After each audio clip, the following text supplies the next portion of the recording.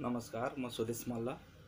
सर्वप्रथम दुई हजार सतहत्तर सालको नयाँ वर्षको हार्दिक मङ्गलमय शुभकामना दिन चाहन्छु। सबैको मङ्गल होस् सबैको शुभ होस्।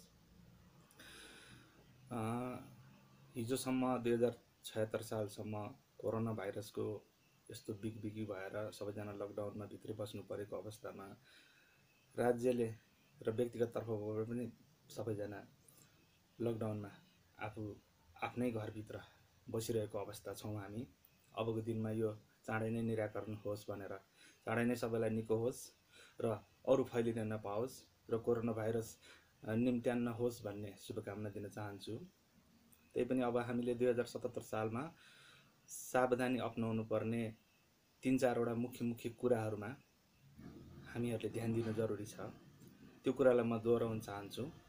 मैले प्रयोग गरिरहेको मैले व्यक्तिगत रूपमा कोरोना भाइरसबाट बच्नको निमित्त आफूले प्रयोग गरिरहेको केही विधिहरू म तपाईँहरूसँग सेयर गर्न चाहन्छु। सधैँ मैले मास्क लगाउने गरेको छु। यो सेनिटाइजर डिटेलको हेर्नुहोस् डिटेलको सेनिटाइजर युज गर्ने गरेको छु।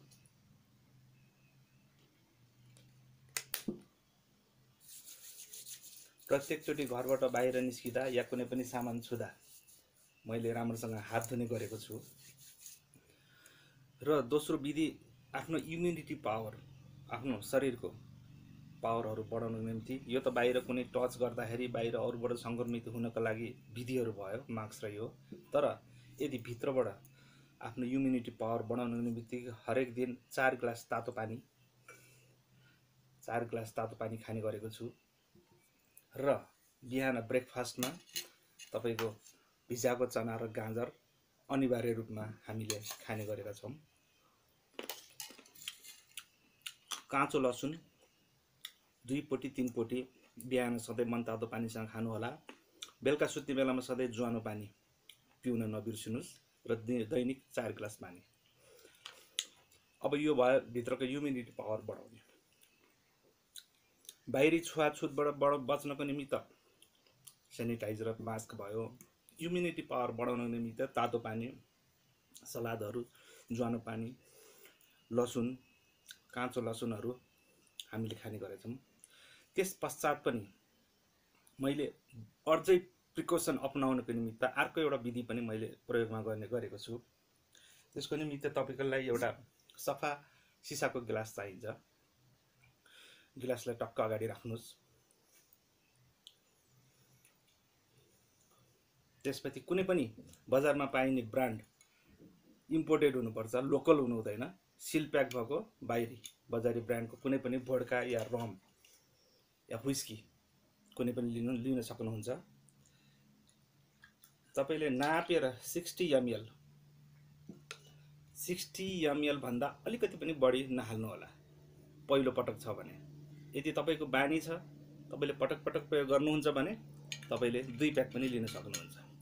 र यसमा यदि तपाईँ पहिलो पटक पिउँदै हुनुहुन्छ भने थोरै पानी मिसाएर।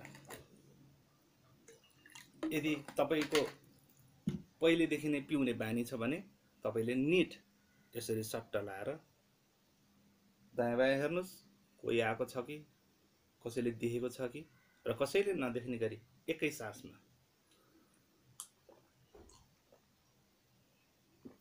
गरेर यो गिलास र यो सिसी चाहिँ लुकाइहाल्नुहोस् यदि तपाईँले यो प्रिकसन अप्नाउनु भयो र फेरि त्यसलाई साबुन हातले साबुन पानीले हात धुने र सेनिटाइजर प्रत्येकचोटि त्यसो गर्नुभयो भने कोरोना भाइरसले हामीलाई कुनै लछारपट्टा लाग्ने छैन र यो दुई हजार सतहत्तर सालको पहिलो महिनामै यो कोरोना भाइरस अन्त भएर जानेछ र तपाईँ स्वस्थ हुनेछ र तपाईँ कोरोना भाइरसबाट मुक्त हुनुहुनेछ।